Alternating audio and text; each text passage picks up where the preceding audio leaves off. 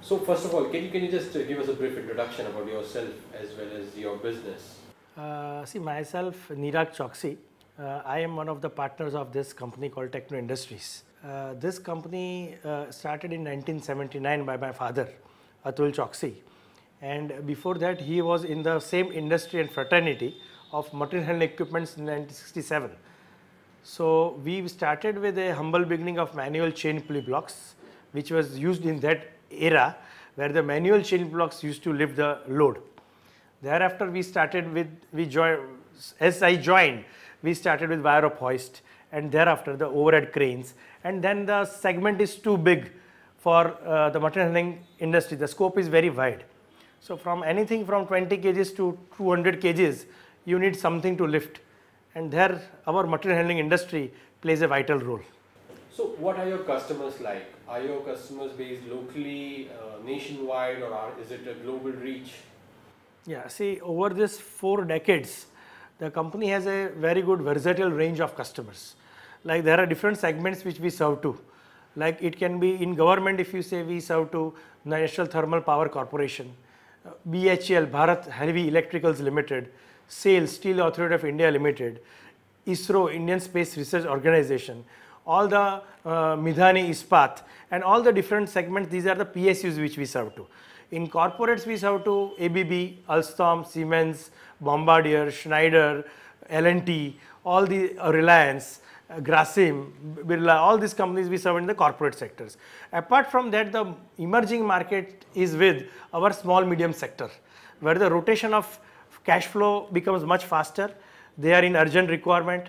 There is bit of less paperwork, which is our favorite sector as well, because we are able to churn out more business and which is the fastest growing, which is the backbone of our country as well.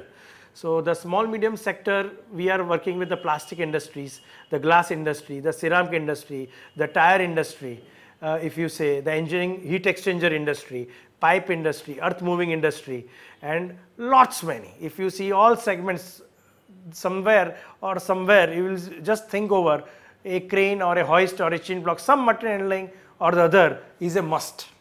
And luckily, we are spread across.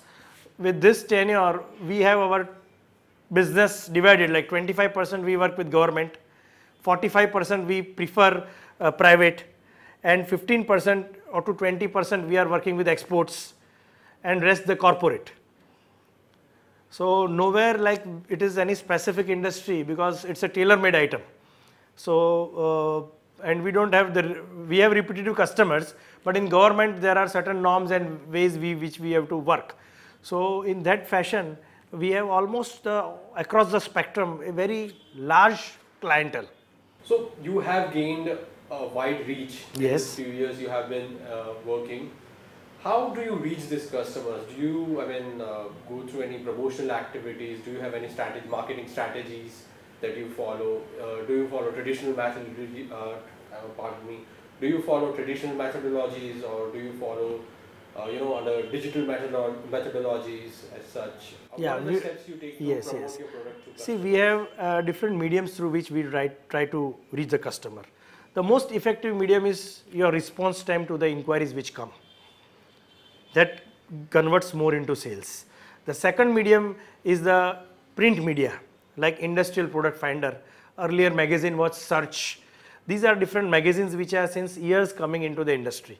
So there my dad used to have a very good repo and the young boys till they retired like a lot of people were there they just changed their uh, scope someone has gone to cnbc Awaaz someone has gone to this channel so they we used to give half quarter full page advertises so advertising has been part of our business since day one Earlier, when we were small, we were giving small advertisements. Now we are giving full pages advertisements. Wherever we feel the publication is really strong, the reach is better. Third medium, we go and every year participate into five to six different segment exhibitions across India. And even one or two abroad, like in Africa or Germany somewhere, with our latest new generation products.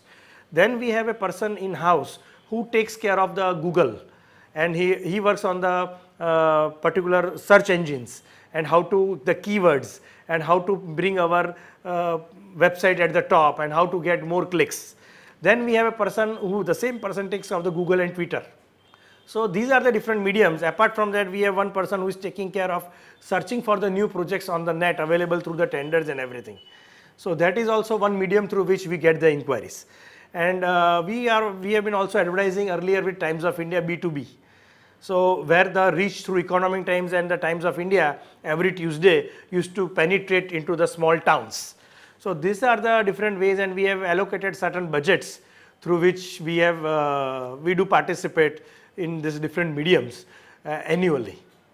So you have in fact taken, uh, taken keen steps, uh, you know, to reach out to Yes. you know, the large base of customers. Because जो दिखता है वो बिकता है. That is why apart from the engineering, it goes word to mouth more or less. That people say that we have been using this machine, it has been serving well. They at least respond very well. That people are available after 50, for, since 40, 45 years they are there in the business, so they know the business and they are still in the same core activity business. So all that values, but still if you- your reach, I personally believe, is if you can reach people at every nook and corner with more sales team and uh, with different mediums, that gives you a added advantage. That gives you a little bit more margins. But even if you reach product, you have to convince them, you know, to use your product, buy Yes. your product, and they have to be convinced because, as you said, word to mouth matters. So once they have used your product, they must have liked something about your product compared to your competitors. So what is that unique unique selling point of your product? What is the USP of your product that that you know that makes customers comes to you again and again? Yeah, I forgot to tell you, we have one more plant. This is in Vatwa. We have one more plant in 20,000 square yards, which is in Devraj Industrial Park, near Vishala, if you know. There we have a unique testing facilities. In that testing facilities, we can test all the cranes as per our Indian standards on 25% overload. Means the cranes from 1 ton up to 250 tons. So that testing is which is unique because and the pit there is 9 meter dip. So whatever we lift is an actual lift which a client or a uh, executive can witness as per the norms laid by the Indian Bureau of Standards. So that is the norm we follow. Moreover, we have a very uh, uh, skilled 15, 20, 25 year old good executives who takes care of in process inspections, final inspections, color checks, testing, site surveys, site erection, site commissioning, site handover, and an annual maintenance contract team is in place who takes care about the services. So whatever we give is a standard practice as per the engineering norms. Apart from that, if you say USP, the apart from the testing facility, our gearboxes and whatever we select are not very lean engineered. We understand that in India still we are under a transition phase. So whatever we give are, is little between the uh, very lean concept and rugged concept.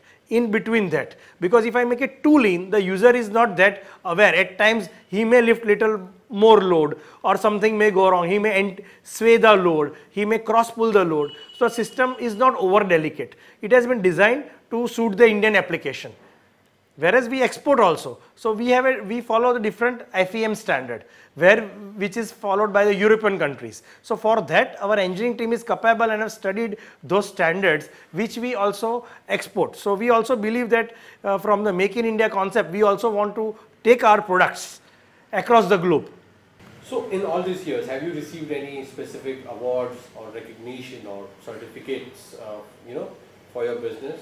Yeah, we have received certain certifications, not specifically me, but the as a company, we have been awarded as the best vendor for BHEL in their uh, best uh, supply chain management vendor. In the sense, we have supplied in time, the quality is very prompt, the service is prompt, so they give you some ratings. So those ratings have accredited to our uh, further. If we want to get more, uh, in, uh, like government companies preferring us, those accreditations do count apart from that nothing much of like uh, we have not participated specifically into any exhibitions for awards or anything. We have not been uh, very active on those fronts. But if you say our credentials we increase our credentials with our supplies in time supplies with our qualities. And those credentials which are goes under rating helps us others others to evaluate our uh, strengths and helps straight away in business Another important question from my side, what are your future business plans? See, in the future business plans, at present, we have already started working with our another sister concern, where we are already coming up with floor handling equipments. So, whatever at, at present we are doing is overhead equipments. Gradually we are coming with floor handling equipments. The floor handling equipments means the stackers, the warehousing arrangements because as you say the supply chain is becoming very important. There are a lot of warehouses coming.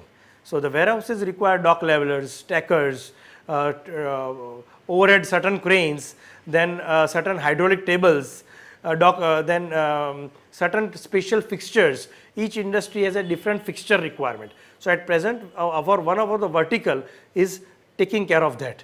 We are also coming with car lifters because a lot of norms of the RERA are changed in the construction industry. So everyone requires to give parking to the uh, shop owners or the office owners. So the car parking, vertical car stacking, again it's a part of material handling, is also a very interesting field. We have already supplied few car parking to our certain buildings on Science City. So we are also making that vertical bit stronger.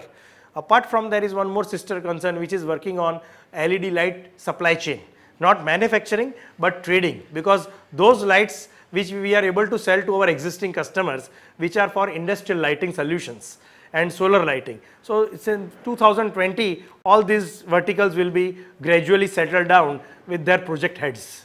So my last question to you will be, I mean, if you have uh, any message for your uh, customers or your even potential customers, you know, that you plan to target. There is no specific message for the potential customers. Oh, my work is only my message and whatever my credentials which my customers give to their absolute customer delight I want the customer delight. So wherever the gaps are there, we are planning to improve upon them. And the thing is that we have to be proud about our technology. We are all capable and we should be working with a mode where we will say uh, no to bad quality, no to waste, no to uh, over exploitation of manpower and giving everyone a right uh, platform thereby the country as a whole should grow to reduce the disparity and to move further.